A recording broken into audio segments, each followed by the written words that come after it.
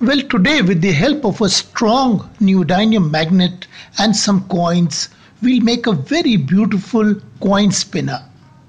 For making this magnetic coin spinner, you will require two bottles filled with water, steel ruler, neodymium magnets, coins which are attracted to magnets. First, I will stick a strong magnet in the center of the steel ruler. Now on both ends of the ruler is double sticky tape. Now stick the tapes on the lids of two water bottles filled with water to make a makeshift stand. I have several coins which have nickel in them. That's why they stick to the magnet. First, I stick two coins to the magnet, then I hang two more coins. Now there'll be four coins hanging. Now, with the help of a flexible straw, I will try and spin the last coin.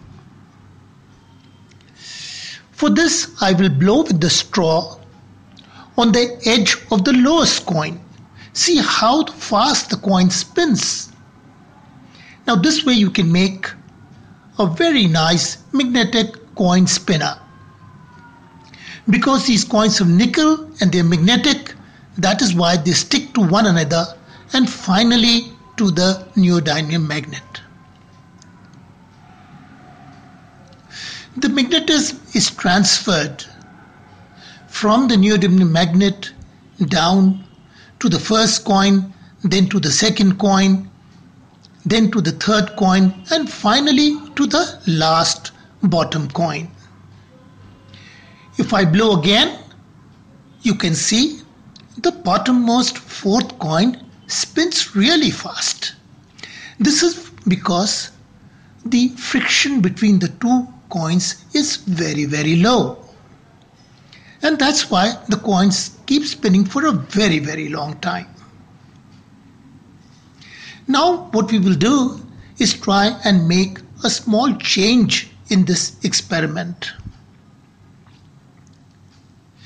Now, first, I will stick a strong neodymium magnet to the base of a glass. I will keep the glass just below the top magnet. Then I will stand coins on the base magnet, you will easily be able to place four coins one on top of the other. You can adjust the height of the glass by placing or removing some books from below the glass. Now you can see a tower of coins. The topmost coin will be attracted to the top magnet stuck to the scale. Now if I blow on the edge of the bottom coin with a flexible straw, it will spin very fast. Well, the fast spin is because of the low friction between the coins.